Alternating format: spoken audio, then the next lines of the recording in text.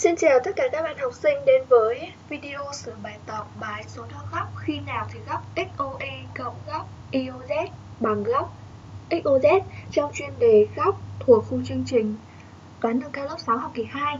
Thì ở video trước, các bạn đã được theo dõi thầy Tấn giảng cho chúng ta về phần lý thuyết rồi phải không nào? Thì ngày hôm nay cô sẽ phụ trách sửa bài tập cho chúng ta. Bài tập của mình hôm nay gồm có 5 bài thì mình sẽ đi lần lượt vào từng bài ha. Đầu tiên là bài tập 1 Đề bài 1 như sau. Câu A cho hai góc phụ nhau AOB và COD Biết rằng góc COD bằng hai lần góc AOB Tính số đo góc COD Câu B cho hai góc bù nhau XOY và ZOT Biết rằng XOY trừ ZOT thì bằng 40 độ Tính số đo góc XOY và ZOT Đầu tiên là mình sẽ đi vào câu A. Câu A đề bài cho mình đó là hai góc AOB và COD. Đây là hai góc phụ nhau. Đúng chưa? Mà hai góc phụ nhau thì tổng số đo của hai góc đó bằng 90 độ. Đúng nào? Và ta lại biết là góc COD bằng hai lần góc AOB.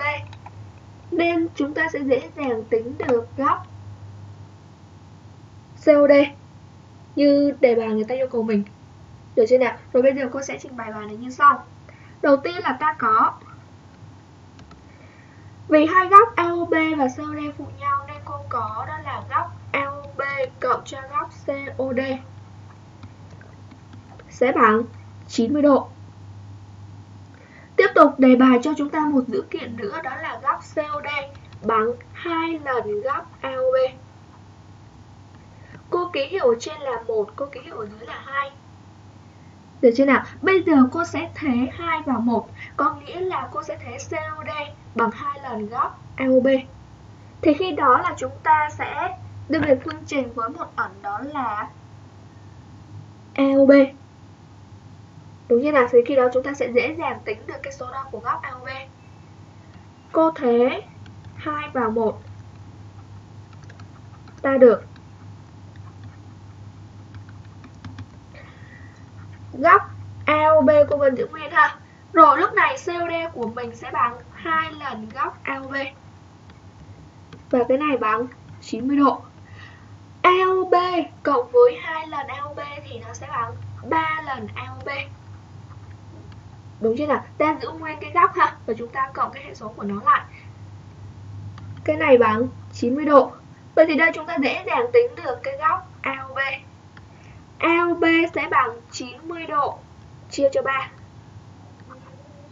Đúng chưa nào? Mà 90 độ chia 3 thì nó sẽ bằng 60 độ. Vậy số đo của góc AOB bằng 60 độ. Mà đề bài yêu cầu mình là tính số đo của góc COD. Đúng chưa nào? Mà số đo góc COD nó lại bằng hai lần số đo góc AOB. Đúng chưa? AOB chúng ta vừa tính được là 60 độ. Nên dễ dàng tìm được số đo góc COD sẽ bằng 2 lần nhân với 60 độ và bằng 120 độ. Đúng như nào? Vậy là số đo góc COD của chúng ta bằng 120 độ. Đó là xong câu A. Bây giờ chúng ta sẽ vào câu B ha. Tiếp tục chúng ta qua câu B. Câu B đó là cho hai góc bù nhau XOY và ZOT biết rằng góc XOY trừ ZOT bằng 40 độ tính số đo hai góc này. Ở câu A thì là hai góc bù nhau, đúng nào? Hai góc phụ nhau, còn câu B là hai góc bù nhau. Vậy thì hai góc bù nhau là hai góc mà có tổng số đo bằng 180 độ. Đúng chưa? Nên chúng ta cũng sẽ từ dữ kiện đề bài là chúng ta sẽ đi làm cái bài toán này như sau. Câu B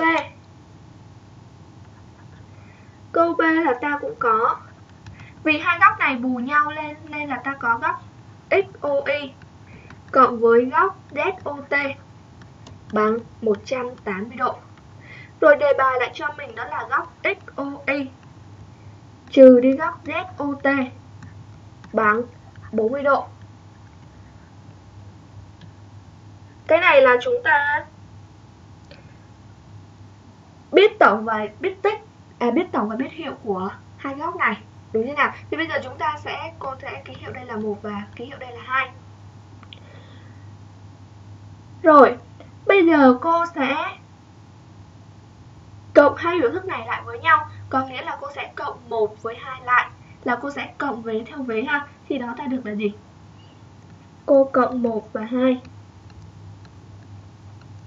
cộng 1 và 2 thì ta có là XOY cộng XOY thì sẽ bằng 2 XOY đúng chưa nào? Rồi ZOT trừ đi ZOT nghĩa là nó bằng 0 đúng chưa? Và vế bên này ta sẽ được là 180 độ cộng 40 độ thì sẽ bằng 220 độ.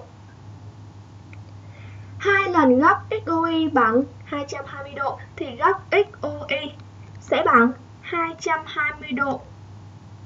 Chia chia 2. 220 độ chia 2 thì nó sẽ bằng 110 độ. Đây là số đo góc XOY. Đúng như nào? Và người ta yêu cầu mình tìm góc ZOT nữa. Vậy thì ZOT sẽ bằng gì đây? Ta có đó là góc XOY cộng ZOT thì bằng 180 độ Thì khi đó ta sẽ có được đó là ZOT sẽ bằng 180 độ trừ đi góc XOY Đúng chưa nào? Mà số đo góc XOY chúng ta vừa tính được đó là 110 độ. Nên cô sẽ có là 180 độ trừ 110 độ và sẽ bằng 70 độ. Vậy là số đo của góc ZOT bằng 70 độ và số đo của góc XOY bằng 110 độ. Cô vừa hoàn thành xong bài 1, bây giờ chúng ta sẽ cùng nhau đi vào bài 2 ha.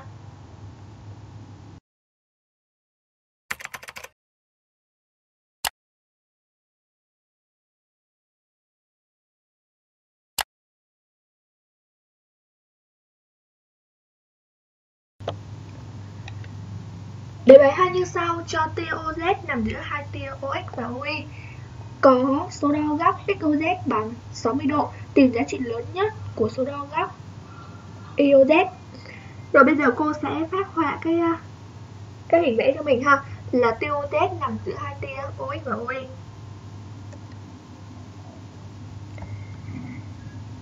Rồi ví dụ cô có góc XOY là góc này đi. Và OZ là tia nằm giữa. Hai tia này. Được chưa nào? Ta có số đo góc XOZ bằng 60 độ. Rồi bây giờ người ta yêu cầu mình tìm giá trị lớn nhất của số đo góc IOZ các bạn quan sát thấy vì OZ là tia nằm giữa hai tia OX và OY nên là ta có góc XOZ cộng với góc ZOY thì nó sẽ bằng góc xuy đúng chưa nào? Đầu tiên là ta có này, vì uz nằm giữa, vì tia UZ ha? Vì tia UZ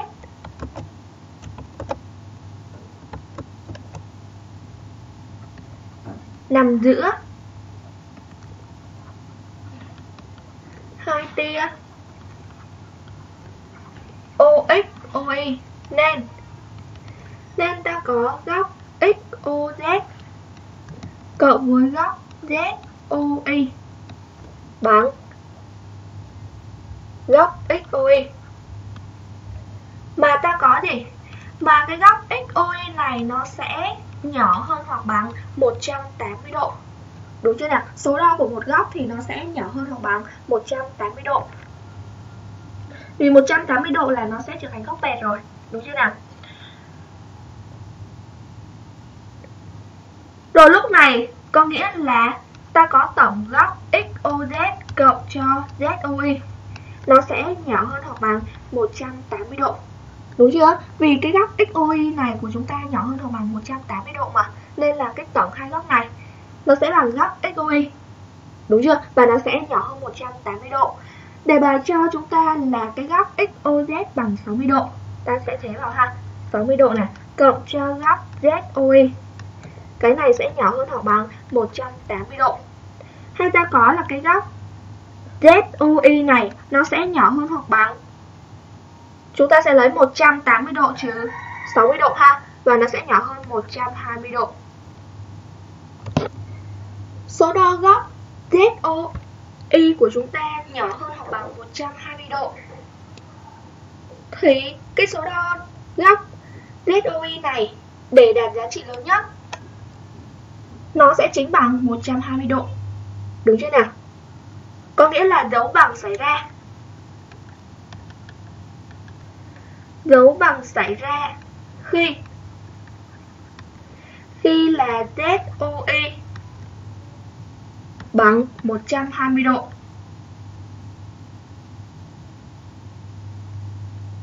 Đúng như nào? Hay là có nghĩa là cái góc XOY này của chúng ta bằng 180 độ.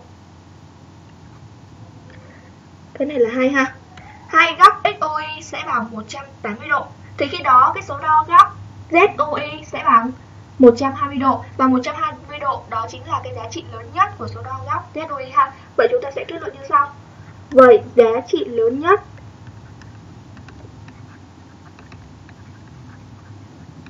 của góc ZOI bằng 120 độ khi khi số đo góc XOI của cô bằng 180 độ. Đúng chưa nào? Vậy có nghĩa là khi mà cái góc XOY mà nó là góc bẹt, thì cái số đo của góc ZOY sẽ bằng 120 độ và đó chính là cái giá trị lớn nhất của số đo góc này. Đó là bài tập 2 ha. Bây giờ cô sẽ qua bài tập tập 3.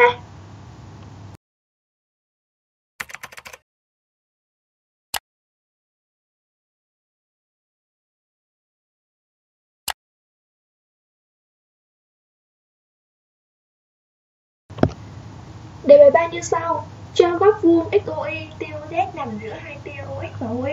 Câu A chứng tỏ rằng góc XOZ và góc IOZ là các góc nhọn.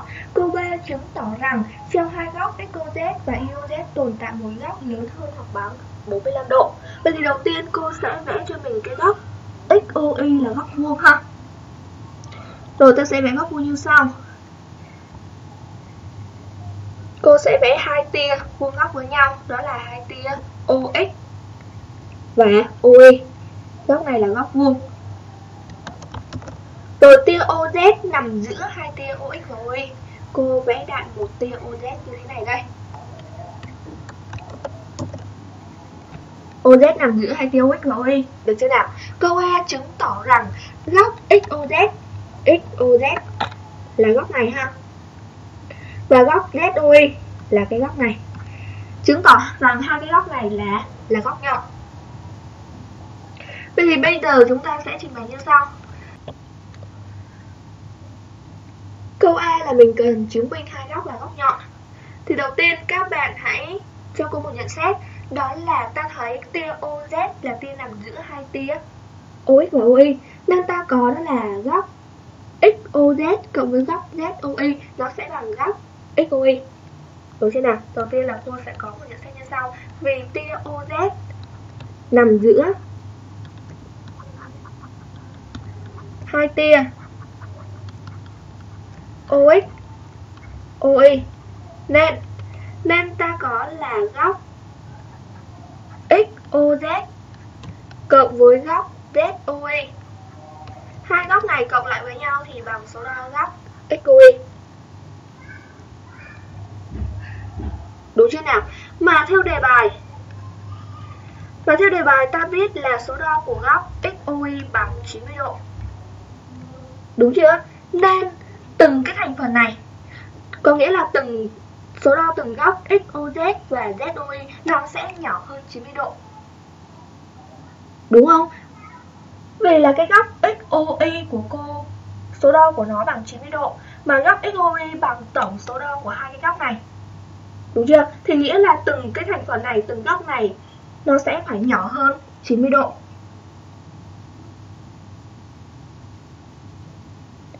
Đúng chưa nào? Nên ta có gì đây?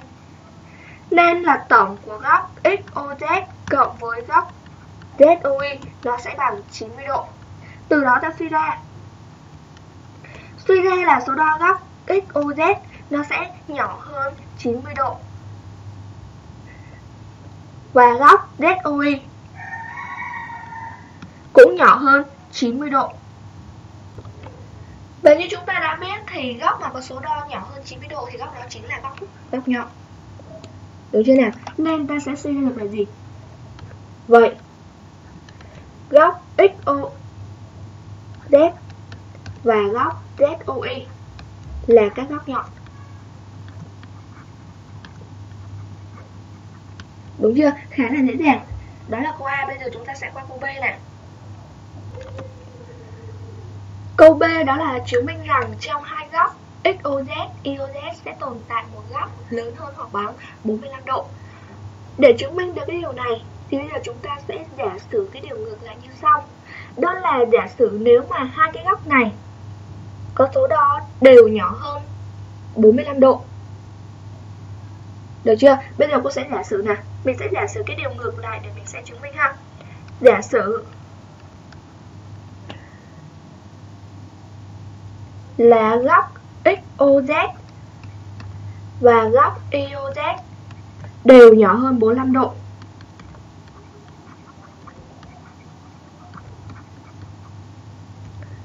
Đúng chưa nào? Có nghĩa là cái góc XOZ này nhỏ hơn 45 độ và cái góc IOZ cũng sẽ nhỏ hơn 45 độ.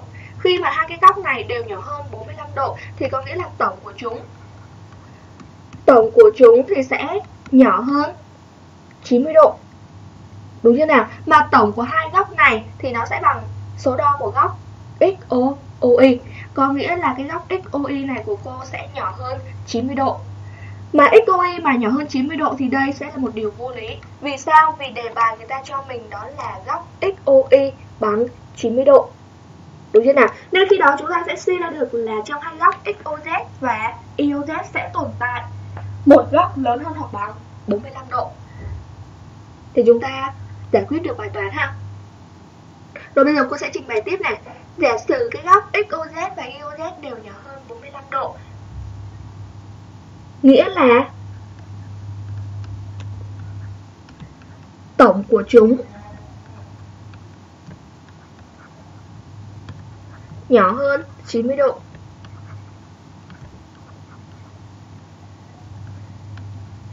Hay nói cách khác, đó là cái góc XOY sẽ nhỏ hơn 90 độ. Đúng chưa? Mà góc XOY nhỏ hơn 90 độ, đây là một điều vô lý. Vì sao? Vì đề bài cho XOY là bằng 90 độ mà Đúng chưa? Nên khi đó chúng ta sẽ suy ra được đó là gì? Do đó sẽ tồn tại một góc lớn hơn hoặc bằng 45 độ.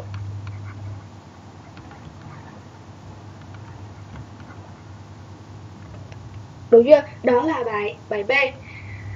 Cái phương pháp làm câu B đó là chúng ta sẽ giả sử cái điều ngược lại để suy ra một cái điều vô lý, từ đó mình sẽ kết luận được cái điều mà mình cần chứng minh ha. Đó là bài tập 3, bây giờ chúng ta sẽ đi vào bài tập 4.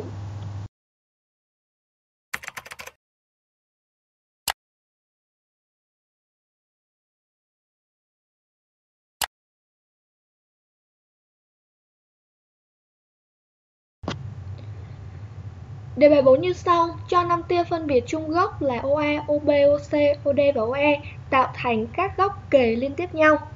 Biết rằng số đo góc AOB bằng 30 độ, góc BOC bằng 70 độ, góc COD bằng 80 độ và góc DOE bằng 30 độ. Câu A Chứng minh rằng 3 điểm AOD này thẳng hàng. Câu B đó là tính số đo góc EOA. Câu C, 3 điểm BOE có thẳng hàng hay không? Rồi đầu tiên thì chúng ta sẽ vẽ các góc ra để xem như thế nào ha. Ở trên bảng cô thì cô không có thước đo đo độ nên là cô sẽ vẽ tương đối. Còn ở trong vở các bạn thì mình có thước đo độ nên mình vẽ cái góc chính xác cho cô một chút xíu ha. Vì khi mà mình vẽ chính xác cái hình thì cái việc làm bài của mình nó sẽ dễ dàng hơn. Rồi bây giờ cô sẽ tiến hành vẽ các góc mà. Theo đề người ta cho, đầu tiên cô sẽ vẽ cái tia OA như sau. Đầu tiên là mình vẽ tia OA ha. Đây là góc O đây là là A, đây là tia OA. Tiếp theo đó mình sẽ vẽ cái góc AOB bằng 30 độ. AOB có nghĩa là cái tia OB của chúng ta sẽ ở đây ha. Góc này là 30 độ Tiếp tục, đó là góc BOC thì bằng 70 độ BOC 70 độ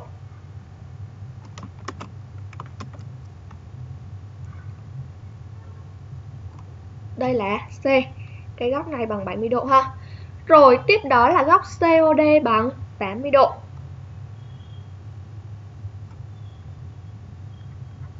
Góc này là 80 độ.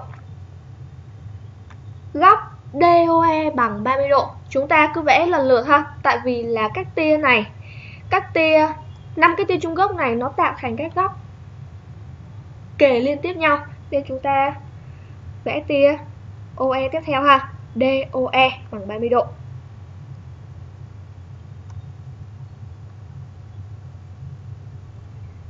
Đây là tia OE và góc này bằng 30 độ. Bây giờ chúng ta sẽ làm câu A đầu tiên nè. Câu A là chứng minh 3 điểm AOD thẳng hàng. AOD chứng minh ba cái điểm này thẳng hàng. Vậy thì muốn chứng minh 3 điểm thẳng hàng ta làm sao? Để biết được 3 điểm có thẳng hàng hay không thì mình cần chứng minh đó là ta cần chỉ được cái góc AOD mà nó bằng 180 độ, có nghĩa là góc AOD là góc bẹt thì khi đó mình sẽ suy ra được đó là 3 điểm AOB, AOD nó sẽ thẳng hàng với nhau. Được chưa nào? Vì số đo của góc bẹt là bằng 180 độ. Và bây giờ chúng ta sẽ làm cách nào để tìm được số đo góc AOD bằng 180 độ. Đó là bài toán của chúng ta ha. Rồi, thì ta có nè. Ta có gì đây? Ta có góc AOD. Có phải là nó sẽ bằng góc AOB cộng với góc BOC và cộng với COD? Đúng chưa nào? Vì các tia này nó nằm lần lượt với nhau và tạo thành các góc liền kề nhau. Được chưa? Nên ta có góc AOD này sẽ bằng góc AOB cộng cho góc BOC cộng cho góc COD. Mà số đo của ba cái góc này chúng ta có rồi đúng chưa nào? Đề bài người ta cho rồi. Nên dễ dàng mình tìm được cái số đo góc AOD. Rồi bây giờ chúng ta thử tính xem thử cái góc AOD này bằng bao nhiêu ha. Ta có góc AOB bằng 30 độ. Góc BOC thì bằng 70 độ. Và góc COD bằng 80 độ. À chúng ta cộng lại thì ta thấy này 30 cộng 70 là 100 100 cộng 80 là bằng 180 độ Đúng chưa? Góc AOD bằng 180 độ Nên cô suy ra được đó là gì? Suy ra là góc AOD này là góc bẹt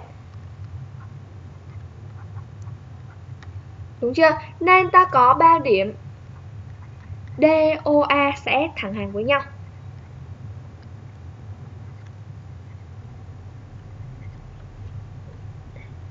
Đó là câu A.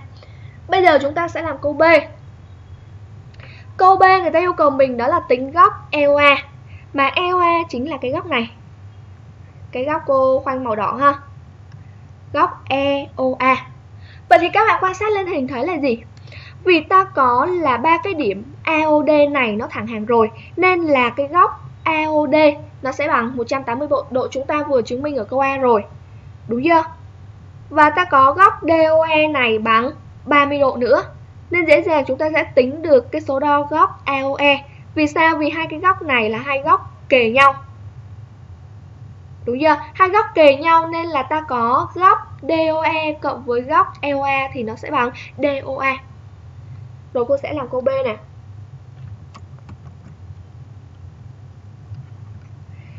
Ta cũng có luôn, đó là gì? ta có là góc DOE cộng với góc EOA thì nó bằng với góc AOD. Hay là cách khác là ta có 30 độ cộng cho EOA là cái góc chúng ta cần tính, đúng chưa? Còn cái góc AOD thì nó bằng 180 độ. Vì sao? Vì theo câu A. Theo câu A, mình ờ, vừa chỉ ra được là cái góc AOD bằng 180 độ. Tới đây chúng ta dễ dàng tính được số đo của góc EOA. LA lúc này sẽ bằng 180 độ trừ đi 30 độ. Đúng chưa nào? Và 180 trừ 30 độ thì nó sẽ bằng 150 độ. Đó, đó là câu B. Bây giờ chúng ta sẽ qua câu C tiếp nè. Câu C người ta hỏi mình đó là ba điểm BOE có thẳng hàng với nhau hay không? Quan sát ha. BOE.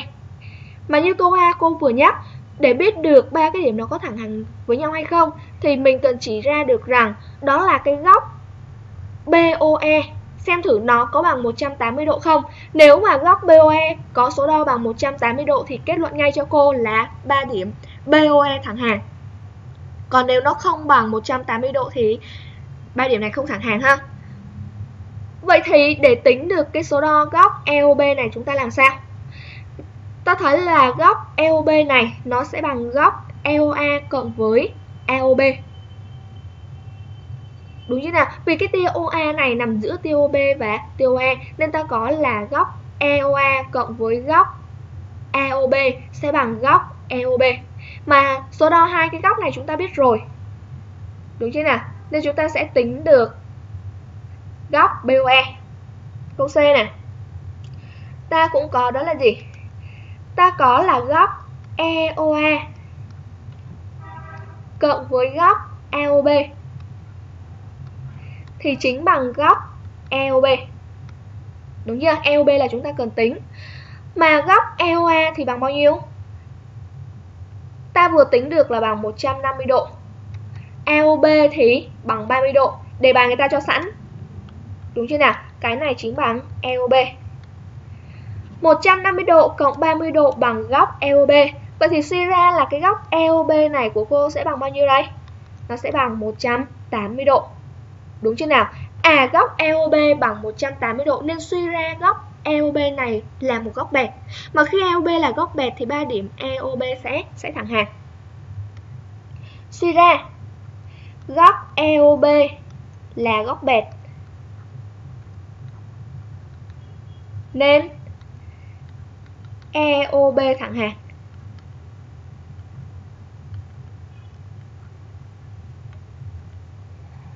Được chưa nào? Đó là bài tập 4. Bây giờ chúng ta sẽ cùng nhau đi vào bài tập 5 ha.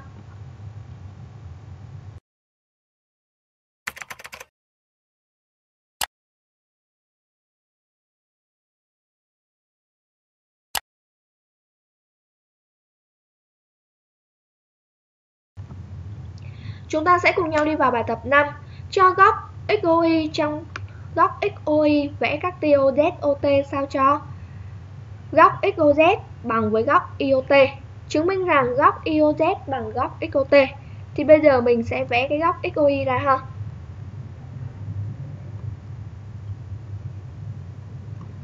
Đây là XOY Vẽ TOZ OZ và OT sao cho XOZ bằng với IOT Thì cô sẽ vẽ cái TOZ. OZ